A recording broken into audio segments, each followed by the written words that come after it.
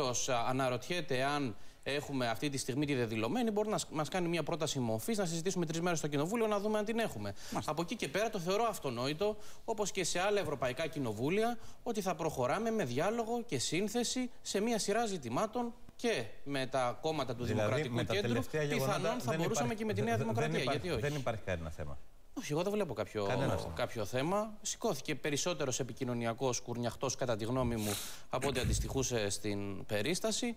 Τώρα η συζήτηση φαίνεται να επιστρέφει στα μείζωνα θέματα Μάλιστα. για την κοινωνία και την οικονομία. Κύριε Βρούτση, Κατατίθεται, αν για μου τον κύριο επιτρέπετε να Καμένο. τελειώσω Ναι. γι' αυτό, ένα προσχέδιο προπολογισμού που βάζει θετικές προοπτικές Να το δούμε. για Ε, το σήμερα κανένα 2018 Γιατί ακούμε διάφορα θέματα. Να το και για δούμε τη πρώτα. μείωση της ανεργίας που την προβλέπει κάτω από το 20%. Αυτός είναι μεγάλος εθνικός στόχος και με έναν υψηλό ρυθμό ανάπτυξης περίπου στο 2,5%. Κύριε Βρούτση, πήρατε τις απαντήσεις που θέλατε για τον κύριο Καπένο. Δεν υπάρχει κανένα πρόβλημα, λέει ο κύριος Έχω Ζαχαριάδης. μια τελείως διαφορετική προσέγγιση από αυτά που είπε ο κύριος Ζαχαριάδης.